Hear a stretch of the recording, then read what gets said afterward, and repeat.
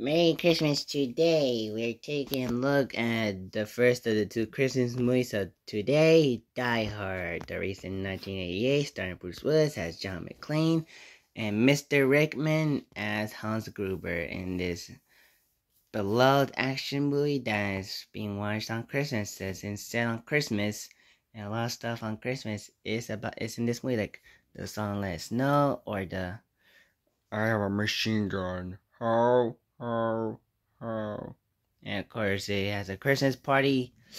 And it's the entire film where the gangsters are disrupting the party. And it's up to John McClane to stop them.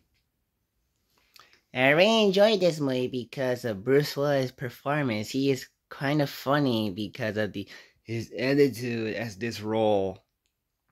Especially when he talks to Al and Hans during the walkie-talkie, and of course it's the three icon deliveries like "Welcome to the party, pal," or "Gonna get together, you last," or "Yippee ki So John and and I really like his action, the way he kills the bad guys. It was very gruesome, violent, but also very cool too. So I really enjoyed Bruce Willis' performance in this movie.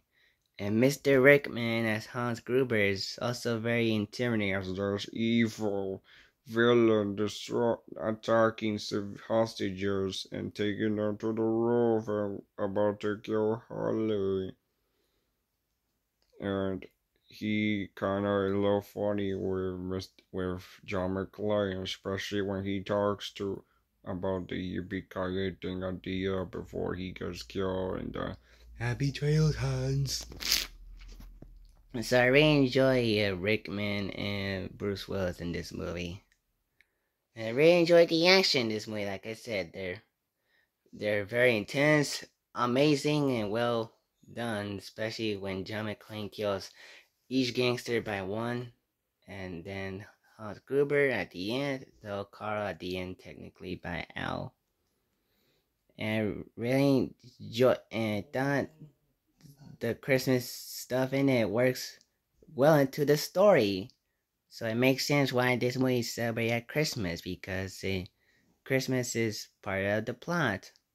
And I really enjoy Argyle. He's a little funny. Like he stays at the at his car for the entire film until he kills one kills the hacker of the gangsters and punches him to death, I guess.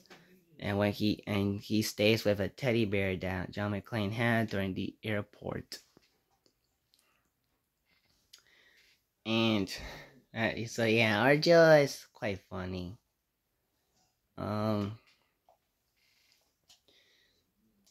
And yeah, so I really enjoyed Die Hard as a Christmas movie and an action movie at the 80s. So peace out. Bye.